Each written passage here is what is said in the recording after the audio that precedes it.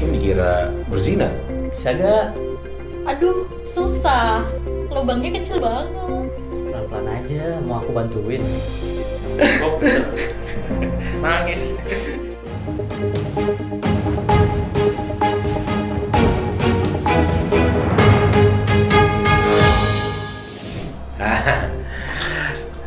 Nixon pakai baju batik kamu.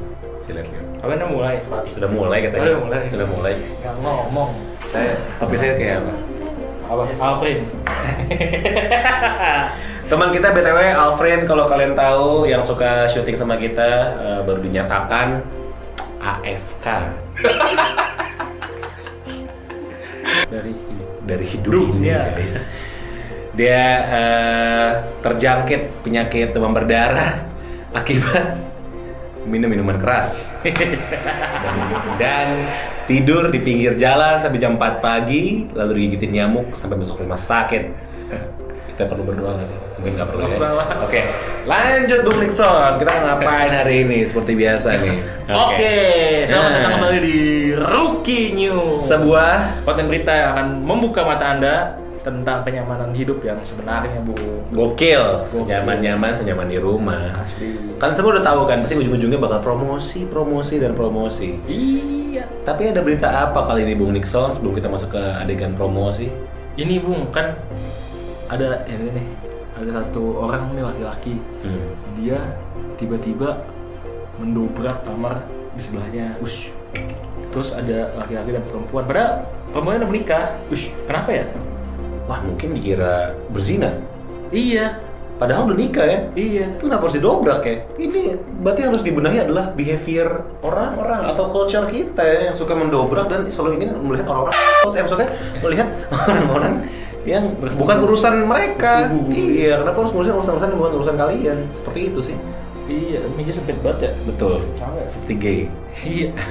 Kenapa sempit banget sih meja? Oke, Mungkin lanjut lagi. kita lihat dulu kali ya beritanya. Ya, boleh. Ini dia beritanya. Yang malam ini kita enaknya ngapain ya?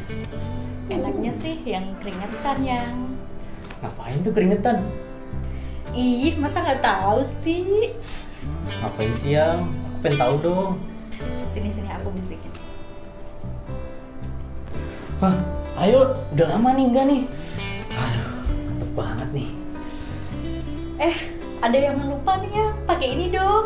Oh iya lupa. Sini-sini aku bukain, aku bukain. Bisa gak? Aduh, susah. Lubangnya kecil banget. Pelan-pelan aja, mau aku bantuin. Woi, ngapain lo? Mesum lo ya? Apaan sih lo? Orang gua lagi makan bakso. Wah, sorry, sorry, sorry, sorry. Nih, minggir, minggir, minggir, minggir, minggir ah. Ah, jadi, kalian lagi makan bakso, gue kira lagi berzina, enggak ya? Enggak lah, dia kan istri gua. Oh, Eh, suami lo? iya. Oh, aku kira pacaran, enggak ya? Enggak. Oh, iya, iya, iya. Mas, tapi mas, mohon maaf nih mas ya. Ini tuh kosannya nggak bisa buat suami istri. Oh, nggak bisa. Mm-mm. Kalau mau ngekos sama pasangan kamu, istri atau suami, bisa di kita aja, Mas Mbak. Hmm. Tahu kita nggak? Hmm, boleh deh. Kok boleh deh. Kok boleh deh? Nah, kalau Mas Mbak pengen tahu nih soal ru kita, kita bakal jelasin ntar sama Bang. Woi. Bang. Ini istri gua, Bang. Loh, loh, kamu tuh gimana istri lo tuh? Lah, Kok bisa? Bang, yang selingkuh, sama. Bang, Bang. Selingkuh. Gitu doang. Kena deh. Udah kita doang. Gak, lu- gak lucu banget ini ya, Cah. Mungkin lu bakal nangis ya. Lu nangis dong, nangis dong. Kena. Oh, ternyata lo bukan suaminya ya. Udahlah, lanjut ke Bung Nika dan Bung Nixon di studio aja. Sampai jumpa. Nah, itu dia tuh Bung Nixon beritanya tadi. Katanya kayak gitu. Ya gitu doang. Tapi Bung udah punya istri, Bung. Kalau ditanya soal itu mas saya Apa? Oh. nangis. Di sitkom nangis. Saya ketawa nangis. Tanya keinjek. Aduh keinjek. Ya, ini beneran ya. Baru. Gue baru.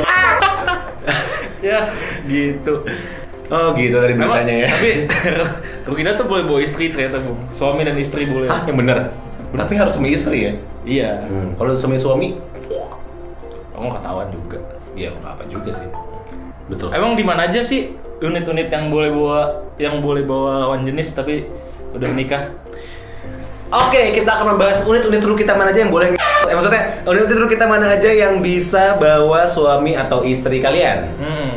Pertama, ada Rukita Dream Home Senopati. Ini cocok buat suami istri karena eh, dia ada kamar yang ka- itu kasurnya son single bed tapi dua. Hmm. Jadi ada digabung itu jadinya mungkin bukan king bed lagi ya ibaratnya double king bed jadinya. Gede banget son. Gede BG. Gede BGT dan itu kamarnya juga luas bisa mandi bareng suami atau istri kalian.